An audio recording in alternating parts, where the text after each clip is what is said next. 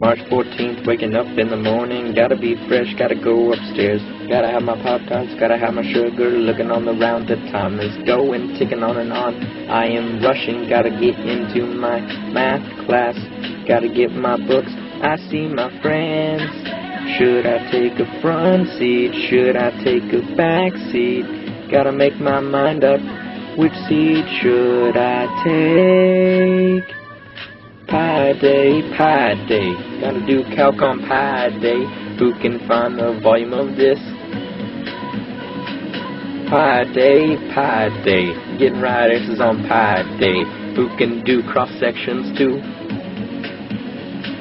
Deriving, deriving, deriving, deriving. Fun, fun, fun, fun. Nothing more fun than deriving. Start with the hard stuff, doing a cross section, semicircle on the x-axis. Just take the function, square the whole thing, multiply by 1 half pi. Then take your bounds and plug them in. f of b minus f of a. Use a calculator or by hand. Now you know it. There's no need to add, see, this is what it should be. Gotta make my mind up, how much more can I take? Pi day, pi day, gotta do calc on pi day. Who can find the volume of this? Pi day, pi day, getting right answers on pi day. Who can do cross sections too?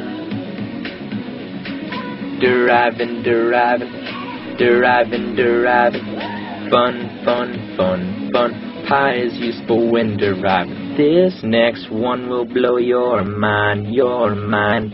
It has more to do with pi, pi. We, we will be so enlightened, be so enlightened. We're gonna solve it all today.